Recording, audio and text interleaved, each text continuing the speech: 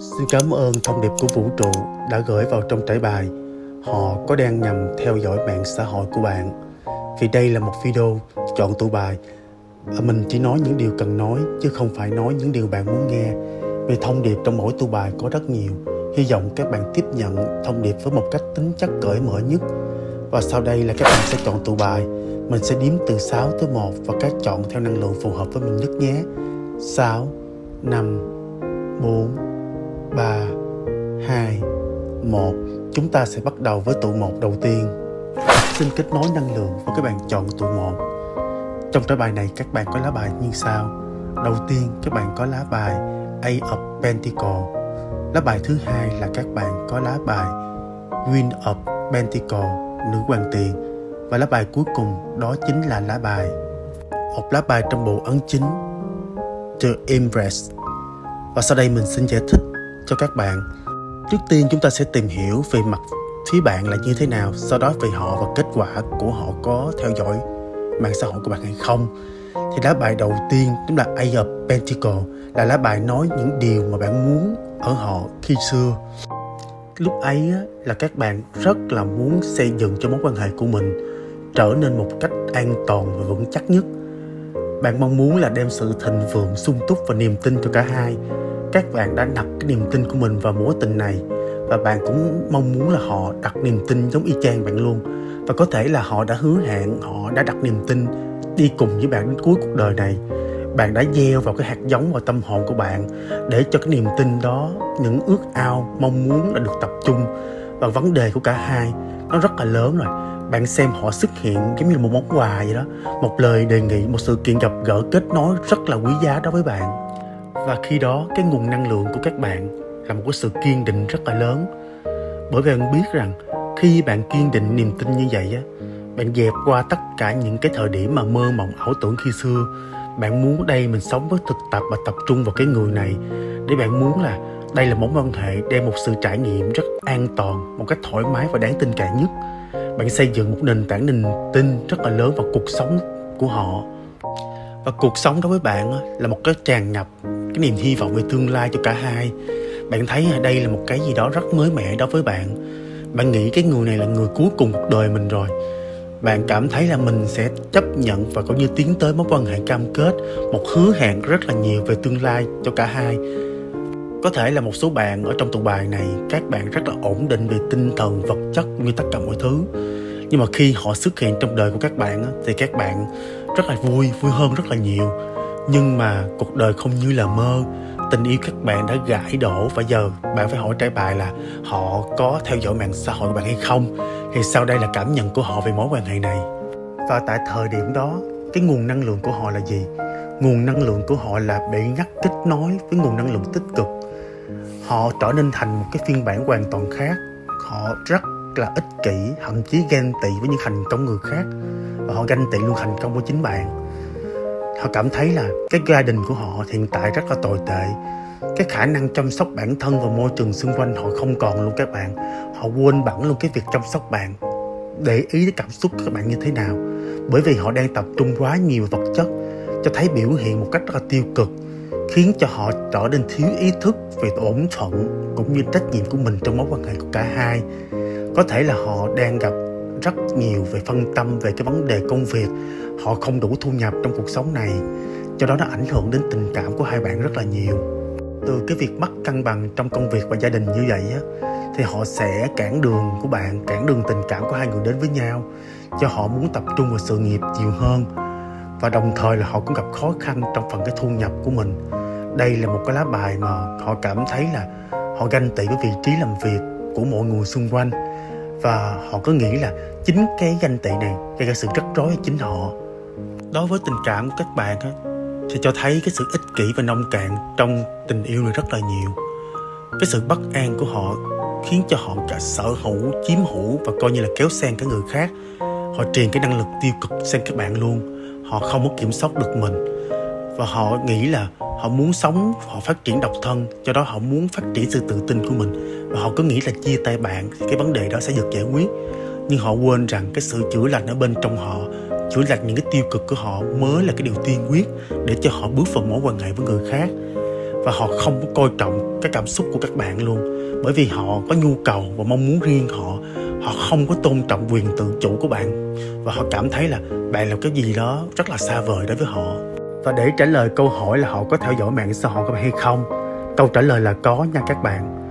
Bởi vì đây là cái thời điểm có thể là sau khi chia tay, họ đã thấy là họ tập trung vào bản chất của họ họ tập trung vào sự rung động và thể chất cũng như là đọc sách và tìm hiểu thêm rất là nhiều.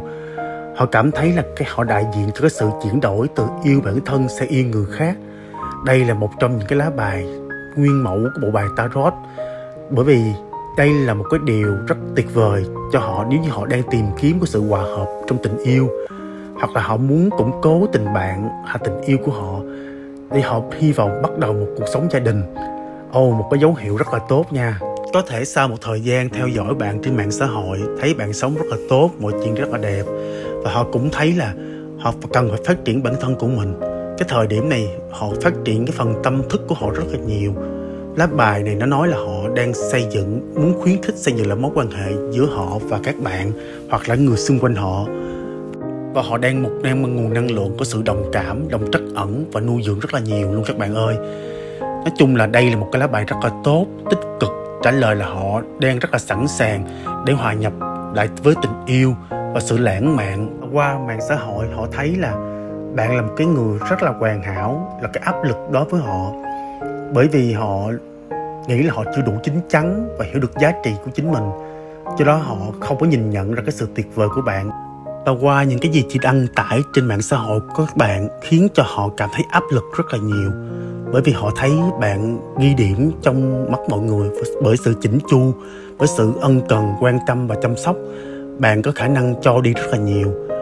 Bởi vì họ nhìn thấy là bạn có giá trị, một người giá trị đóng góp cho cuộc sống này rất là cao và cả khả năng họ thấy luôn bạn là một cái người rất là trung thực, rất là chung thủy. Bạn sẵn sàng hy sinh lợi ích cá nhân của mình để chăm lo cho những người khác, chăm lo cho gia đình.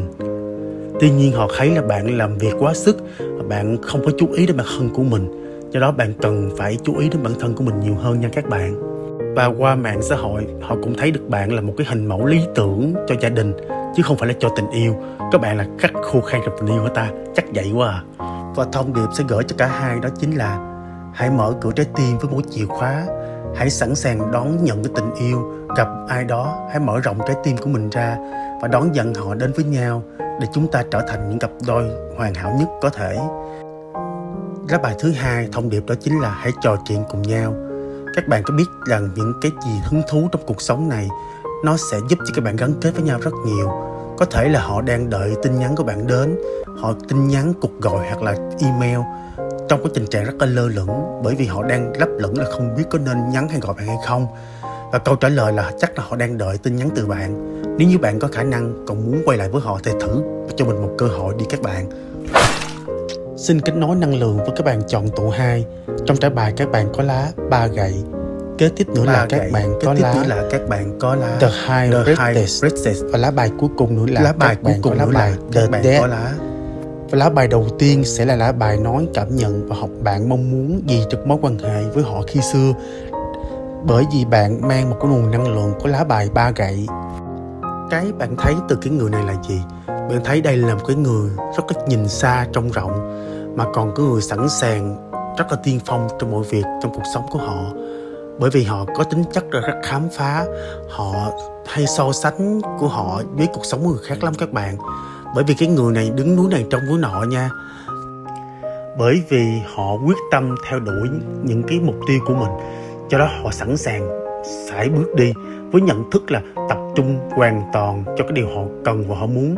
Lòng can đảm của họ đã đi kèm theo sự tính toán và mang tính tự phát rất là nhiều. Khi mà họ cảm thấy là ở nơi bạn họ cảm thấy không có sự phát triển nữa hay họ sẵn sàng bước ra đi, bởi vì họ mang một cái tiếng gọi, có sự là tiến về phía trước. Bản thân cái người này thích chinh phục lắm các bạn. Họ muốn tăng cái sự giới hạn của mình, muốn giải thoát mình ra khỏi hoàn cảnh nó hiện tại, bởi vì họ mang một nguồn năng lượng là họ không thích sự an toàn ở phía bạn. Họ muốn một làm gì đó khác đi, họ tìm kiếm những cái khả năng tình yêu mới, đem cho họ những kỳ vọng ở trong cuộc sống của mình bởi đây là một cái người có tầm nhìn rất là dài hạn nha các bạn. Bởi vì cái khả năng của họ là họ muốn tạo ra là một người dẫn đầu, một người là lúc nào cũng giữ vai trò chính trong mối quan hệ hết trơn á. Một lá bài rất là bảo thủ, một cái người rất là biết tiến về phía trước, sẵn sàng từ bỏ những cái gì mà giới hạn anh ta trong cuộc sống này.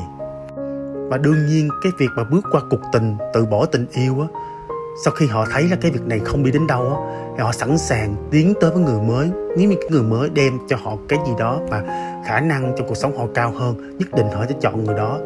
Bản thân cái người này á, họ nghĩ không cho phép thời gian của mình đó là tận hưởng về cái cuộc sống mà an toàn. Họ muốn cái gì đó nó phải phát triển, phải mạnh mẽ, phải trải nghiệm. Phải gì đó mà đứng trên top luôn các bạn, thì họ mới đồng ý. Và những gì họ thấy ở bạn là gì? Họ cảm thấy bạn là một người rất là thụ động. Bạn đại diện cho cái gì đó rất là nội tâm. Có thể là bạn hiểu biết và kinh nghiệm nè. Bạn tiếp thu kiến thức qua trực giác và bạn làm cho những cái gì nội tâm diễn ra trong lòng mình rất là nhiều. Bởi rằng cái bạn mang một nguồn năng lượng rất là thụ động, do đó nó rất là tiêu cực luôn.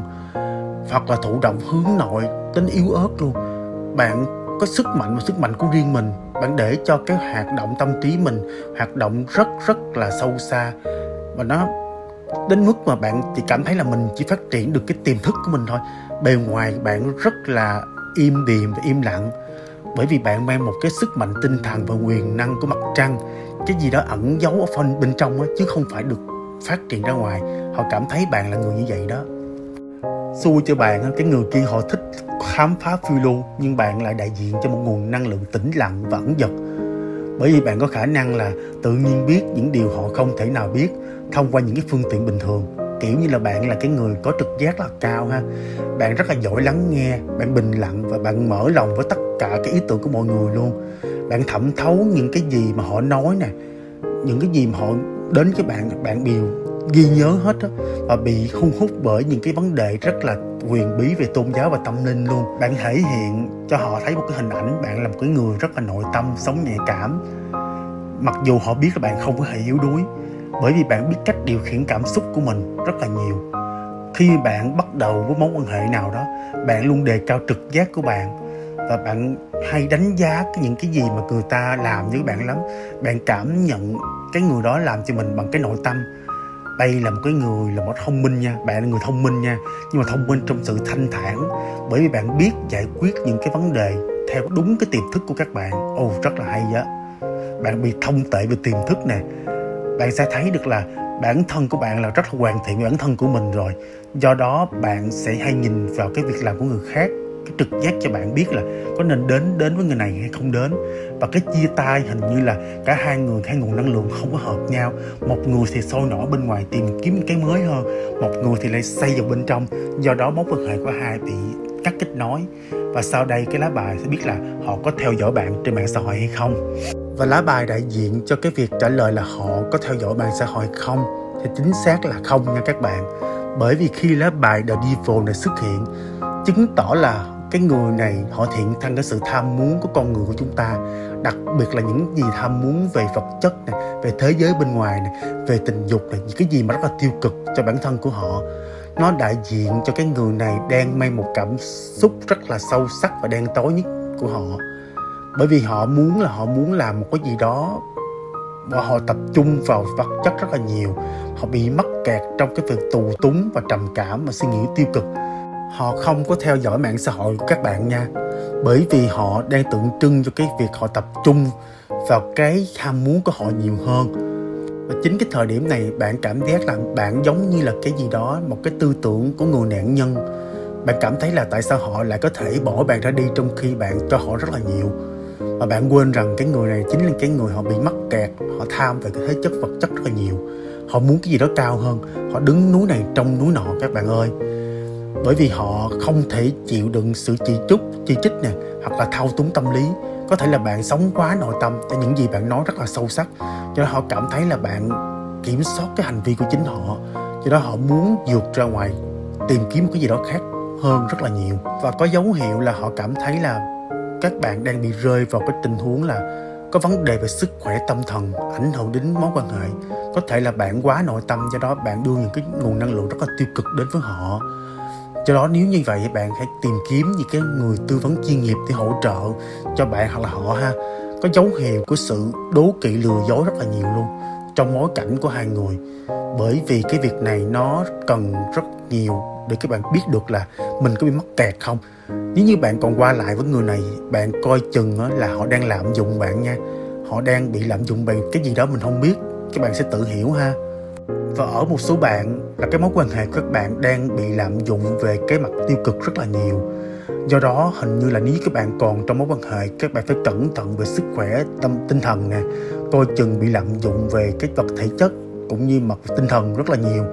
Do đó hãy tránh xa những cái người này ra nha các bạn.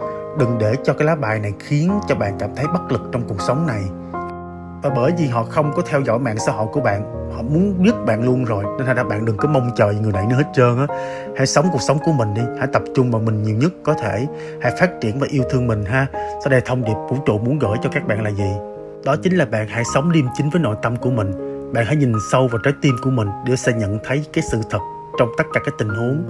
Cái việc bạn thấu hiểu nội tâm của mình là thấu hiểu cái sự thật. Và cái nguồn năng lượng của thiên thần sẽ cung cấp cho các bạn và hướng dẫn cho các bạn đi qua những trường hợp họ đưa ra những cái cơ hội rất là tốt, cần thiết nhất, giúp cho các bạn có sức mạnh để như bạn chăm sóc bản thân mình. Hãy tập trung vào bạn, tập trung vào những điều bạn muốn làm và cái những gì tốt đẹp sẽ đến với bạn theo cái ngọn lửa của đôi cánh của thiên thần. Một thông điệp rất là hay đến từ cái thiên thần vũ trụ hộ mệnh các bạn. Kế tiếp là lá bài. Sẽ kêu các bạn làm gì? Đó là các bạn hãy thay đổi cái hướng đi của mình, hãy thay đổi với kinh nghiệm của mình. Cái ánh sáng của sự hướng dẫn sẽ đến thay đổi và tái tạo lại, mở rộng cho các bạn trong một con đường mới để trong tình yêu hướng tới cho cuộc sống này. Nhưng mà bạn phải sẵn sàng đón nhận những cái nguồn năng lượng của sự hướng dẫn này, và họ sẽ bảo vệ các bạn từ bây giờ và trong tương lai, và họ sẽ theo bạn trong suốt cuộc đời này để cho các bạn có thể thu hút được gì hạnh phúc đến nhất trong cuộc sống của các bạn. Xin cảm ơn các bạn đã xem trải bài.